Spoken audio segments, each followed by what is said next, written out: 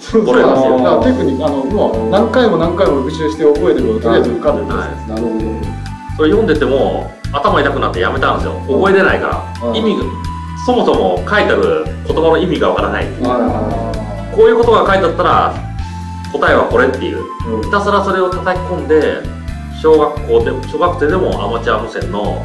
4当時テーマ級今まで4級ねそれが取れるっていう。あったんですけど最近それ読んだら分かるんですよ。あー。やっぱり大人になってわ私は高校生の時にとってもまあなんとか確かに小学生の時言われたら意味実訓かもだからあれこそもうしもう丸暗記のしつけ教育みたいだからなテクニック。だからもうこう来たらこうこうなんかよくわかんないけどスーパーヘッドロダインどうのこうのって言ったらこれはこうだみたいな、うん。ね スーパーヘッドロダイヤまあススーパーヘッドロダイン方式っていうのがあるんですラジオですよ。ねそう。だから初めはあのもともとの周波数が高すぎるから一回、あのなんか発信機で上の周波数発信させてダーンってこうガッとやったとちょっと下がるんです。よはででこう扱いやすくなったところで増幅したけど。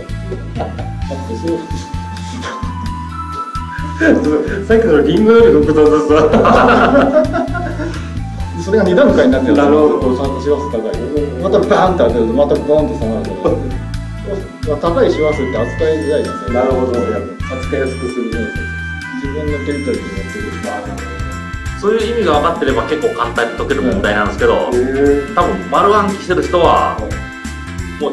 言葉こういう言葉ができたらこれっていう。あのアンテナのなあの設計するときに波長に合わせて4分の1半径とか。ああるいは周波数そう周波数割る300のあこの波の長さとか全部まだいんですでいまだにそれなんでそうなのかなって言われても困るけど でもそうなんだかなっていう。多分昔の偉い人が測ったんだよね物差しで、ああこの180メガヘルツの時はまあ大体6メートルぐらいだった、はいはいはい。物差しで測ったんですよね、きっと。見けど。なんかその人だけ見えちゃうし、で そのきっと決まったもんなんだから、まあしょうがないいろいろあるんですねねでもっていうことは結局世の中テクテク覚えて丸暗記で生活してる人が多いってことなんですかねまあ、あるかもしれないですね。で、やりながら、最初はそれで入っていって、はいはいいつもやりながら覚える。だからソフトウェアなんてさえさえたるもんですよ。だからこう一応情報処理とか、まあ、テクニックでよかったんですよ、はいまあでできるできないはやっぱりこう、入社して1年目で、まあ、すごい人もたまにいるけど、はいはいまあ、大抵はあるじゃないですかやっぱ23年してだんだん覚えてくるやりながら確かだからお年寄りとか銀行の ATM の操作その ATM の機械が変わっちゃうと一から覚えるって言うんですよ。まあそれは分かりますよ。Windows が急になんかこう95からなんか急にねこうなんかあれ何これ XP って何なのって言って最初から違うじゃん。一瞬ビビるじゃんなんじゃこれあああいうのももっとすごい版なんですねお年寄りにとっては郵便局とびっくりしたボタンとタッチ画面みたいな。2個ありますよね2個あるの確かに横になんか四角いなんか昔ながらのカチッとするようなやつが4つ並んで。てただじゃあこれはいただやってる意味わかるからなんとかなるじゃないですか、ただあれ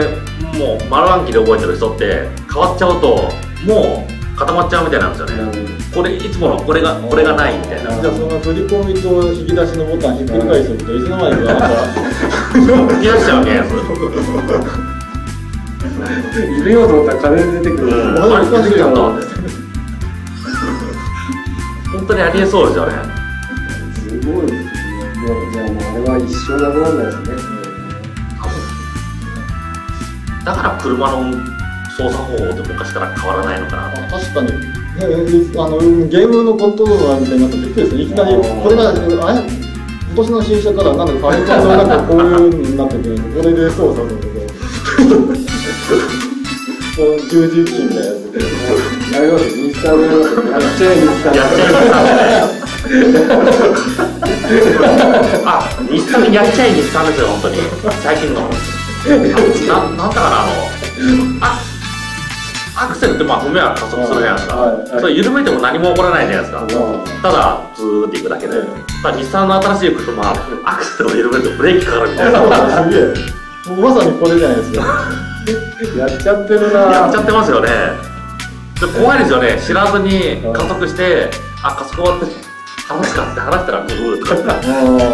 確かに。停止しちゃうんですかで完全停止はしないみたいですけどあ強烈なエンジンブレーキがかかるみたいな。ブレーキはブレーキである。ブレーキはブレーキで。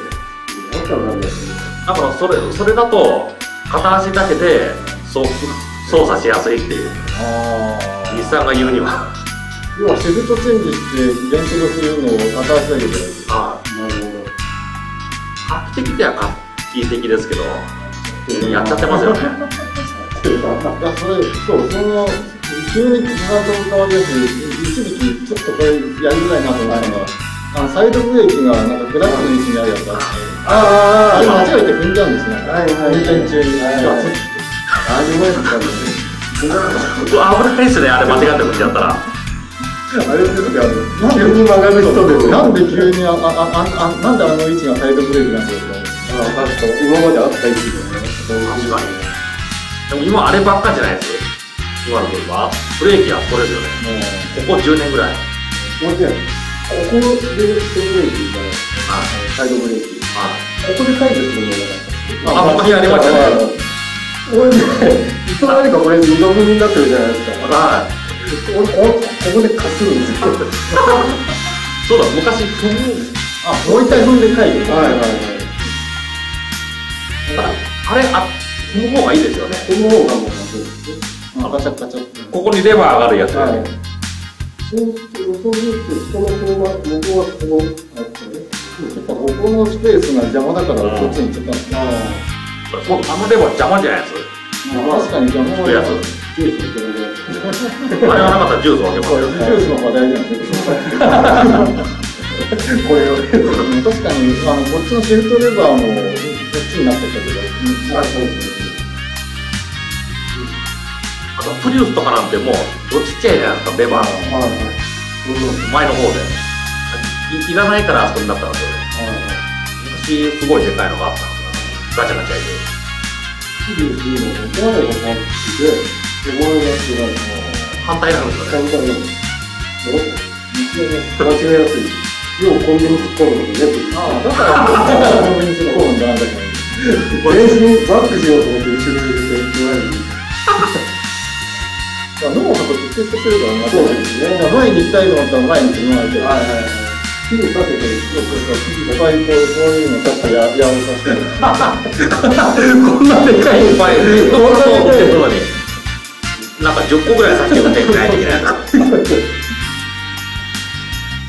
電力で動く車とか嫌ですよ。ね嫌ですでも僕はあのロボットの操作方法で巨大ロボットなんとかなんとかって技名が言ったあるあれみたいに前へ進めって言って車前にはいはいでも遅いですねブレーキ踏めーってブレーキそうですねそうですね僕らですよねドカーンとぶつかったブレーキ踏めーってそうですあ